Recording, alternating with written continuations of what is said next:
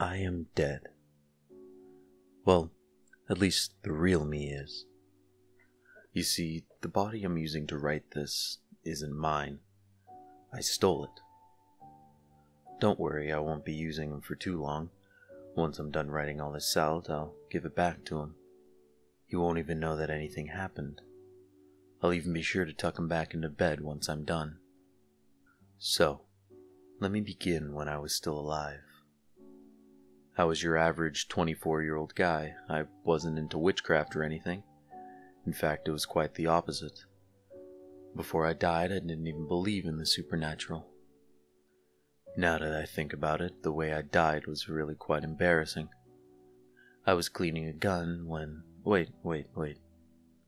That wasn't my original body. It's been so long I almost forgot. No, I remember now. I was just about to have a bubble bath. The last time I had one was probably about four years ago. I was admittedly a bit excited. So excited that I managed to trip on my way down to the full tub. My head landed square on the edge of the tub, knocking me out instantly. My unconscious body managed to slide into the water, and I drowned. Next thing I knew, I was in limbo. I suppose I probably went unclaimed by whatever happens in the afterlife. And so I was placed in the waiting room while the other higher ups sorted me out. It actually appeared as if I was in a literal waiting room. The kind you see at every doctor's office. There was no one else in the room, though. Just me and some terrible elevator type music coming from overhead. Now that I think about it, maybe this was hell. After what seemed like an eternity, the music stopped. I heard a ding, and a voice came from overhead. Thank you for waiting. Please make your way to the door on your right and step through. Well, I didn't have any other options, so I obliged. I made my way to the door and stepped through. There was a man waiting for me on the other side. Welcome. Please take a seat wherever you feel comfortable. He said this, gesturing at the many different seats in the room. It looked like a therapy room. There were couches and a few regular chairs. I took a seat in one of the chairs and I tried to study the man. Even now, I couldn't explain him if I tried. It was as if his face was constantly shifting. He certainly had some aura about him. I'm pretty sure he was a god of some sort, or at least some type of higher being. Where am I then? I finally asked. I suppose most humans would call this purgatory, or maybe limbo. In short, we weren't quite sure what to do with you. What do you mean? Can't you just send me to heaven or hell or whatever? He laughed. That was certainly on the table. We decided to play rock, paper, scissors for you, and I was the big winner. So I've decided I'm going to give you a second shot at life. So, I'm going to be reborn? I asked. I chose to ignore the fact that apparently these gods had decided my fate by a game of rock, paper, scissors. Not exactly. Oh, you figure it out soon enough. This was the last thing he said. He then snapped his fingers. I was back in my bathroom, staring at my lifeless corpse. Was I a ghost?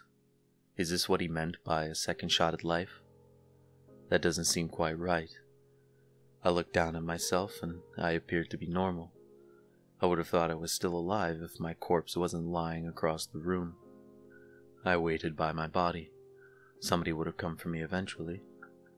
It took two days before a police officer finally made his way into my bathroom and found my corpse. I had confirmed my theory of being some sort of ghost before he ever got there. In those two days of waiting, I had never gotten tired, hungry, or thirsty. It was just added confirmation when the officer sprinted past me and pulled my lifeless body out of the bathtub. I had tried moving objects during my wait, but I was unable to do anything but look. I hadn't gotten the chance to try and touch any other person, though. I approached the officer, and as he called for the paramedics, I placed my hand on his shoulder, and the next thing I knew, I was blinking and breathing. I hadn't thought about it, but I hadn't done either of those two things in the past two days. It had been unnecessary before. I looked around the room before spotting my mirror. I was no longer a ghost, I was. I was now the officer. I had taken control of his body. I was a bit clumsy at first in my new body, but after a few minutes it seemed like I had full control. Just as I got the hang of things, my head, or rather the officer's head, began to pound intensely. After a few seconds of agonizing head pain, I found myself once again staring at the officer from the outside. I'd been kicked out of his body. The officer was holding his head while hunched over. What the hell just happened? He said. He didn't seem to understand that his body had been briefly hijacked. I approached him and attempted to touch him again, but nothing happened this time. I wasn't able to retake his body. I didn't know at the time, but there are certain rules for my body snatching abilities, one of which is when I'm kicked out, I can't get back in. I've gotten much better at using my abilities since then.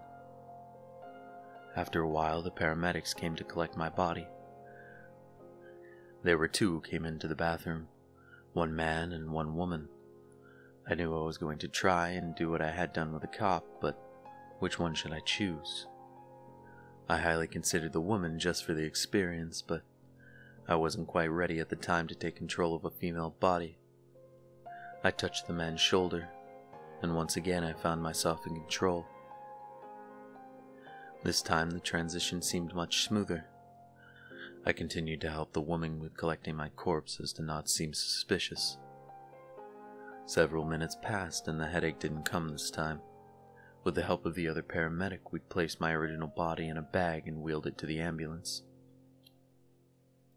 I began to make my way to the passenger seat when the woman stopped me. Where are you going? You always drive. Uh, yeah, sorry. I'm actually not feeling so good right now. Do you mind driving? I said back to her. Fine, but you're buying me dinner. I began to realize that taking this body might have been a mistake. I didn't know the first thing about being an EMT. If I stayed in this body, I may end up costing other people their lives. There was one problem, though. I had no clue how to separate myself from the body. I had been kicked out of the cop's body, but this one didn't seem to be putting up much resistance. I needed to find a way out on my own. I put everything I had in trying to will myself out of the body. It was a fruitless effort, though. How was I supposed to do this? Getting in had been so easy. Shouldn't getting out be the easy part? I bit down on the man's thumb. It's a habit I've always had when I get frustrated. I bit hard enough to draw blood. I stared down at the small wound, once again wishing I could just leave this body. As I thought this, the headache returned, and a few moments later I was outside the paramedic's body. What had triggered it? Had it been the wound? Possibly a combination of my desire to leave and the wound. I wasn't quite sure at the time, but I was happy to be out again. I followed the paramedics all the way back to the hospital. After they wheeled my body inside, I decided it would be best if I just left. I wouldn't be getting back into my own body. I began to seek out someone new. I realized I should really study someone before I tried taking them. If I wanted to take them long term, that is. I would need to know all the basics their relationships, their jobs, their hobbies, mannerisms.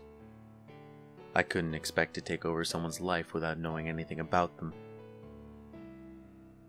I could use other bodies for a short period of time, like I'm doing now, but that would only be for specific purposes. There are over 7 billion people on Earth, though, so I'm not too worried about running out of equity. Also, I didn't fully understand my abilities.